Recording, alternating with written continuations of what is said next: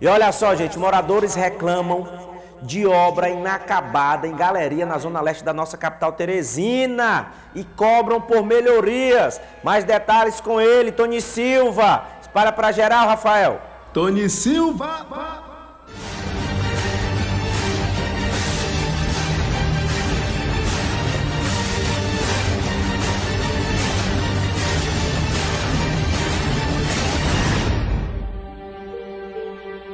Olha, nós estamos aqui no meio do cruzamento das ruas Elvídio Ferraz com Eustáquio Portela. Estamos aqui para mostrar uma situação que está acontecendo. Fomos solicitados por um morador aqui das proximidades que se sente prejudicado. Me prejudica muito porque assim, quando a chuva fraca ou quando a chuva forte alaga aqui, entra água dentro de casa, é complicado, é muito difícil.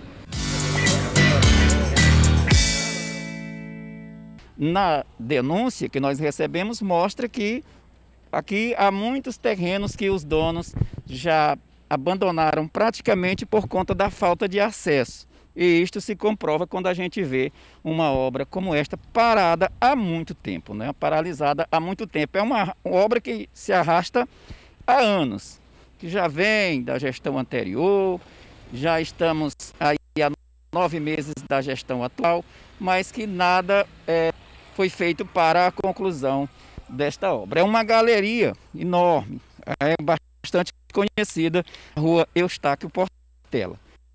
Este é um dos trechos mais críticos desta obra paralisada, obra inacabada. E nós vamos subir aqui, fazer questão de mostrar a você que está aí em casa, para que você tire as suas próprias conclusões. Olha só. Veja a situação. Aqui tem praticamente é um quarteirão, né? Um quarteirão onde está totalmente isolado, não tem a mínima condição para passar.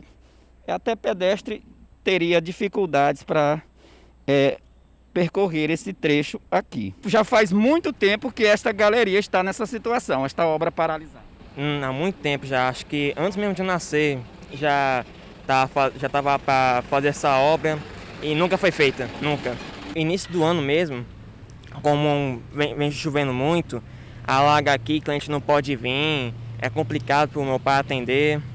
Ele teve até que sair da loja ali para atender outro canto por causa desses alagamentos. É situação de total abandono. Desta forma, não dá para ficar. Nós estamos aqui para fazer um apelo às autoridades que vejam com bons olhos a situação desta obra aqui na rua Eustáquio Portela. É um trecho considerável, mas o certo é que ela precisa ser feita.